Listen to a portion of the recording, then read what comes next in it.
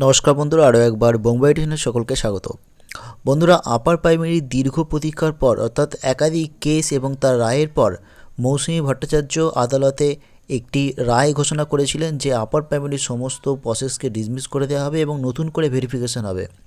এবং সেই মতোই কিন্তু আপার প্রাইমারিতে ভেরিফিকেশন শুরু হয়ে গিয়েছে এবং সেই ভেরিফিকেশন প্রসেস চলছে এবং ডকুমেন্টস আপলোড তো করছে কিন্তু আপার প্রাইমারি পরীক্ষার্থীরা। কিন্তু এরই মধ্যে আবারও একটি কিন্তু কেস করা হয়ে গেছে কলকাতা হাইকোর্টে এবং সেখানে একটি অ্যাপ্লিকেশন আমরা দেখতে পাচ্ছি যেটা আমরা পেয়েছি যে application for stay of the operation of the order dated eleven twelve two thousand twenty passed by honourable justice the Mousumi Bhattacharya in WPA number nine five nine seven of two thousand nineteen এই case upper primary নিয়োগের ওপর কতটা প্রভাব ফেলবে তা তো সময় বলে দেবে।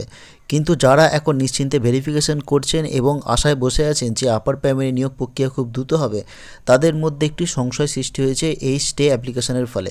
তো দেখা যাক এরপর এই স্টে অ্যাপ্লিকেশন থেকে আপার প্রাইমারি নিয়োগের উপর কোনো প্রভাব পড়ে কি না এবং তার সমস্ত আপডেট কিন্তু এই চ্যানেলেই পাবেন।